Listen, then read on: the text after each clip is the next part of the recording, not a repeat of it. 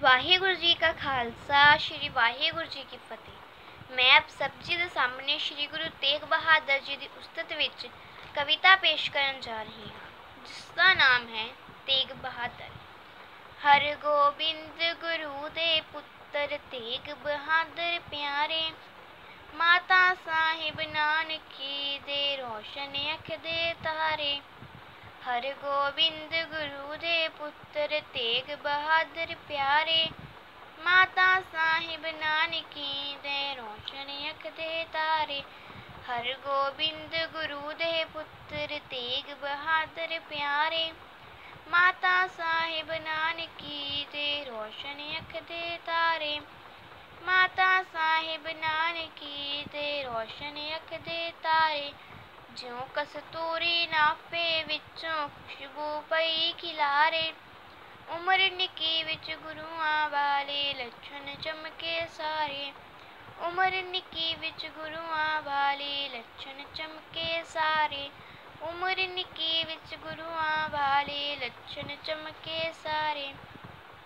ਮਾਤਾ ਪਿਤਾ ਨੇ ਲਾਲ ਪੁੱਤਰ ਦੇ ਦਰਸ਼ਨ ਜਿਸ ਪਲ ਪਾਏ ਖੁਸ਼ੀਆਂ ਦੇ ਵਿੱਚ ਮੋਤੀਆਂ ਵਾਲੇ ਪਰ ਪਰ ਬੁੱਕ ਲੁਟਾਏ। ਖੁਸ਼ੀਆਂ ਦੇ ਵਿੱਚ ਮੋਤੀਆਂ ਵਾਲੇ ਪਰ ਪਰ ਬੁੱਕ ਲੁਟਾਏ। ਖੁਸ਼ੀਆਂ ਦੇ ਵਿੱਚ ਮੋਤੀਆਂ ਵਾਲੇ ਪਰ ਪਰ ਬੁੱਕ ਲੁਟਾਏ।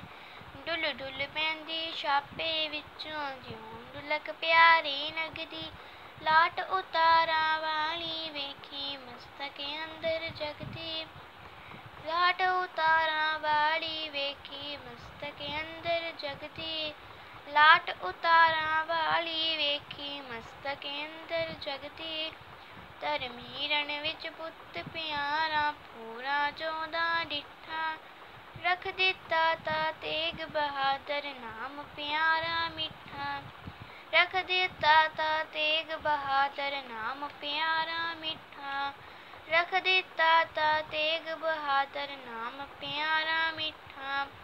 ਹਰ ਗੋਬਿੰਦ ਗੁਰੂ ਦੇ ਪੁੱਤਰ ਤੇਗ ਬਹਾਦਰ ਪਿਆਰੇ, ਮਾਤਾ ਸਾਹਿਬ ਨਾਨਕੀ ਦੇ ਰੋਸ਼ਨ ਅੱਖ ਦੇ ਤਾਰੇ। ਹਰ ਗੋਬਿੰਦ ਗੁਰੂ ਦੇ ਪੁੱਤਰ ਤੇਗ ਬਹਾਦਰ ਪਿਆਰੇ, ਮਾਤਾ ਸਾਹਿਬ ਨਾਨਕੀ ਦੇ ਰੋਸ਼ਨ ਅੱਖ ਦੇ ਤਾਰੇ। ਹਰ ਗੋਬਿੰਦ ਗੁਰੂ ਦੇ ਪੁੱਤਰ ਤੇਗ ਬਹਾਦਰ ਪਿਆਰੇ ਮਾਤਾ ਸਾਹਿਬ ਨਾਨਕੀ ਦੇ ਰੋਸ਼ਨ ਅੱਖ ਦੇ ਤਾਰੇ। ਮਾਤਾ ਸਾਹਿਬ ਨਾਨਕੀ ਦੇ ਰੋਸ਼ਨ ਅੱਖ ਦੇ ਤਾਰੇ। ਮਾਤਾ ਸਾਹਿਬ ਨਾਨਕੀ ਦੇ ਰੋਸ਼ਨ ਅੱਖ ਦੇ ਤਾਰੇ।